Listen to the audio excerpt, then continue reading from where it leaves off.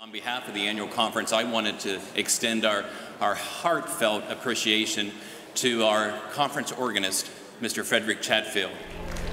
I'm the director of music and organist at Christ United Methodist in Kettering. I have another year there, and when I retire from Christ United Methodist, I will have been at that church 30 years. I started serving on the uh, annual conference worship committee back in the mid 90s, so I've been you know, about 20 years.